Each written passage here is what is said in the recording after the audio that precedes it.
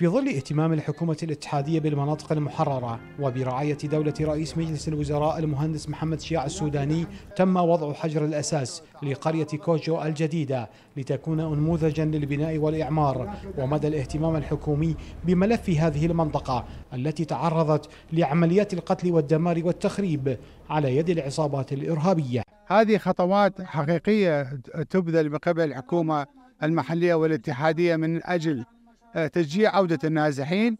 كذلك باشرنا بصرف مبالغ التعويضات للمتضررين من أبناء قضاء سنجار واليزيدية خاصة إضافة إلى عملية تمليك الدور الخاصة باليزيديين هذه الخطوة إحدى الخطوات التي تنسجم مع رؤية الحكومة الاتحادية في دعم أهل هذه القرية وتعويضهم لما فقدوه من دور وممتلكات. اليوم نحن في كوتشو وهي رسالة دعم من دولة الرئيس وحكومة سيادته إلى الأهالي وذوي الضحايا.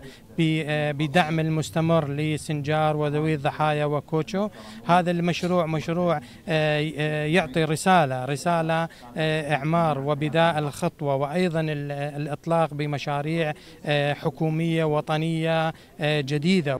مساع جادة تأتي تطويرا للمناطق المحررة. من خلال إقامة المشاريع المنوعة فيها وبناء قرية كوتشو الجديدة في قضاء سنجار هو انعكاس لمدى اهتمام الحكومة الاتحادية بهذه القرية.